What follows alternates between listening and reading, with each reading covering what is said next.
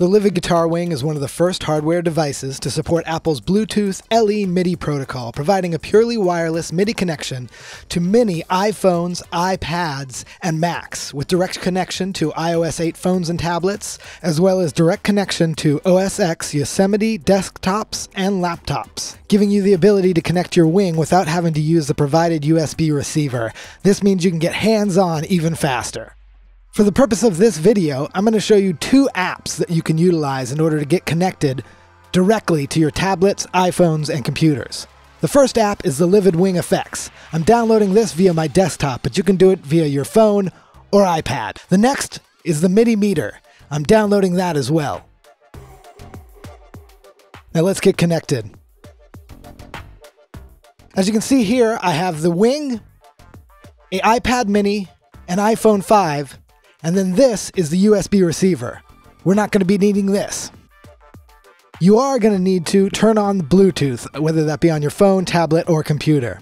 Now we're going to do a quick setup, wirelessly connecting the Wing to the Wing Effects app. I just clicked the button that says Reconnect Wing. Upon doing that, I was prompted for a passcode. Whenever you're prompted for a passcode, enter six zeros for the Wing.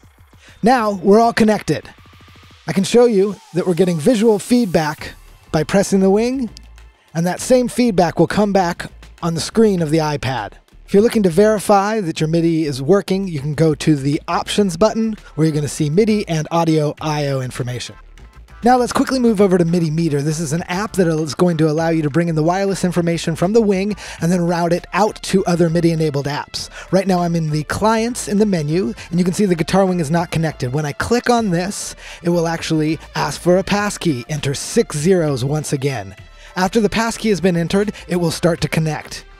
Once connected, it will give you feedback that is connected, and then you'll need to navigate in the menu to Sources. Sources will then show you that the Livid Guitar Wing is available as both a source and a destination. Go ahead and click them on and then you'll be up and running to use midimittr and the Wing.